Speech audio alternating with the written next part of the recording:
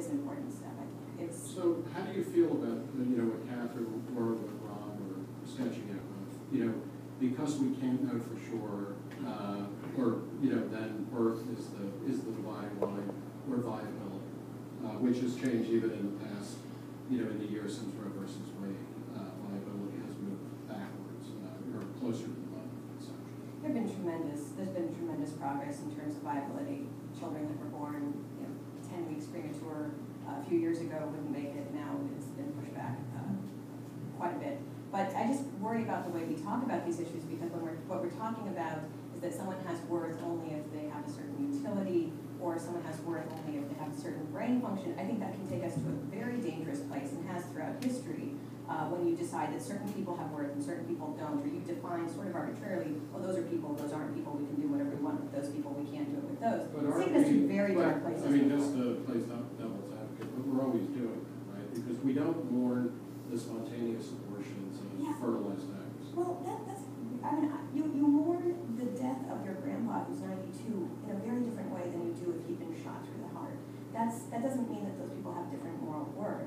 It just means that, you know, some things are natural, some things aren't. I mean, yes, um, naturally, some, some people miscarry. This happens very common for a lot of women. It's different than like going in and like tearing something apart limb by limb. I mean, that's just, it's very different. But I wonder what you, what do you mean when you say we, right, like this is the, you know, what should be weak most obvious? This is, this is my concern here is, uh, you know, there is certainly, uh, a completely legitimate and rich debate among philosophers and, uh, you know, at bars and the cultural side of this debate, um, which I think is very related to another phenomenon that, um, libertarians are, are keen on or should be keen on, which is, uh, the notion of the expanding circle, right? That we are, um, you know, one of the great triumphs of libertarianism, you know, writ large across history is that we treat more and more people like people.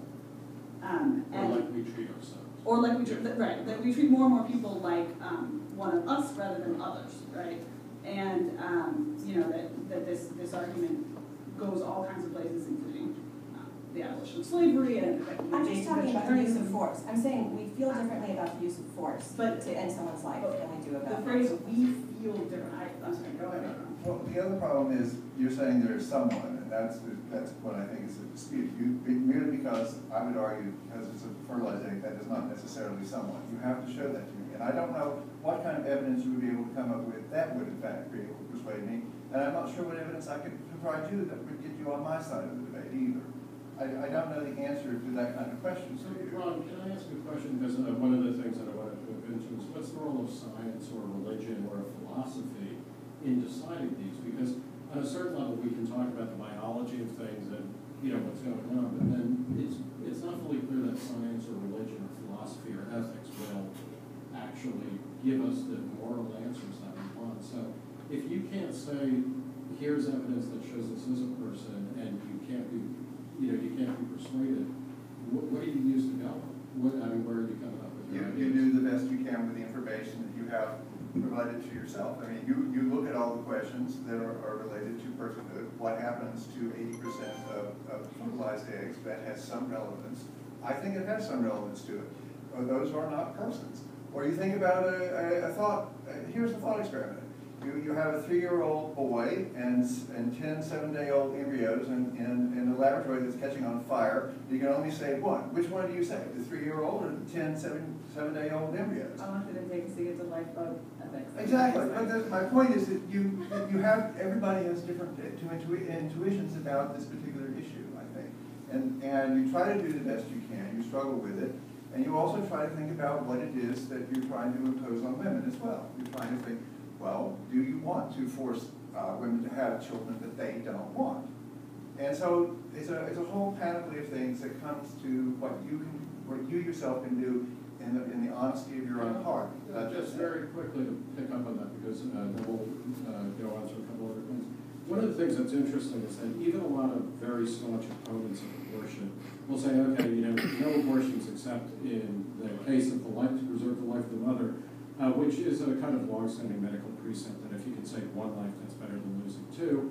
And we could argue that, but then they'll also say, and in the case of rape and incest, uh, Mississippi, in researching this, uh, interestingly, the only uh, cause before Roe versus Wade that Mississippi allowed abortion for was incest, not rape, but incest. And it's kind of like if you're the Mississippi Tourist Board, uh, you know, you would probably want to rethink that and come up with more, you know, if, if, you know, why would incest be the only thing that would uh, legitimate it? But can we all agree on some level that, yeah. That's it. But, um, but, you know, that these carving out exceptions for things like rape and incest, possibly the life of the mother, uh, you know, seem kind of strange, because it's like, you know, the argument against rape is that, well, the woman didn't consent to become pregnant or have this child. But then it's like, okay, so to, you know, to make it all right, we're gonna kill the kid.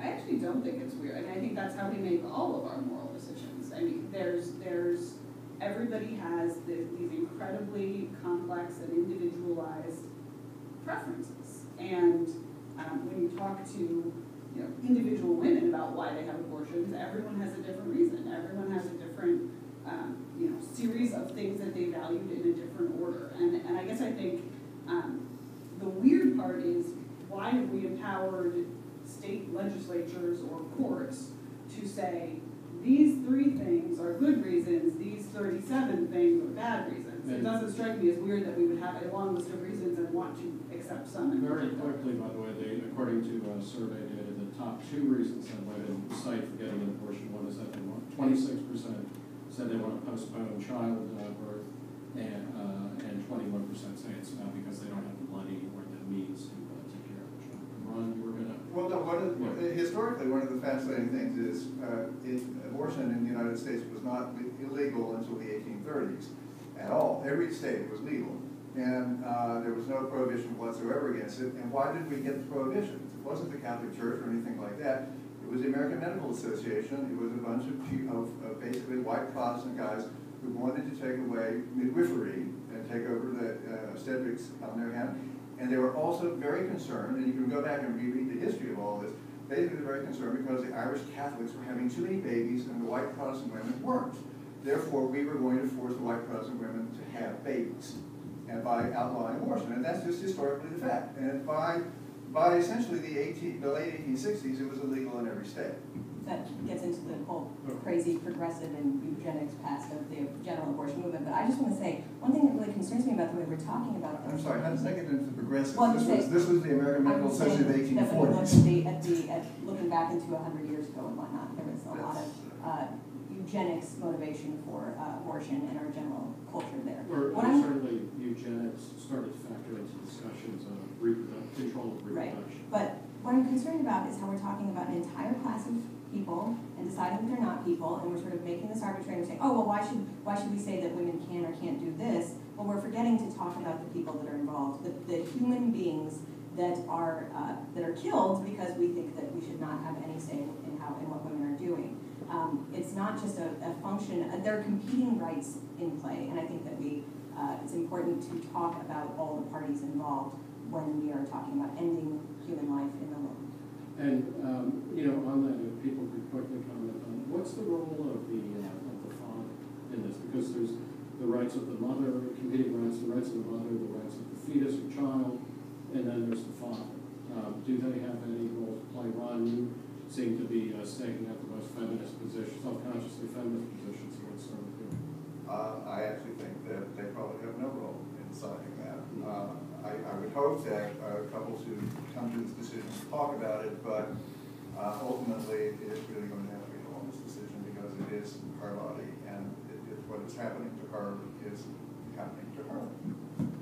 I mean, there's a great deal of illogic on that part too, though, when you talk about if this child does somehow escape the birth canal, then we have the fathers being completely responsible for them, but they have no say whether they make it out of the birth canal. Um, but they, we do punish them if they procure an abortion for their, um, for the woman that they impregnated, particularly against her will. I mean, there's just, there's a lot of illogic in the, in the legal structure here.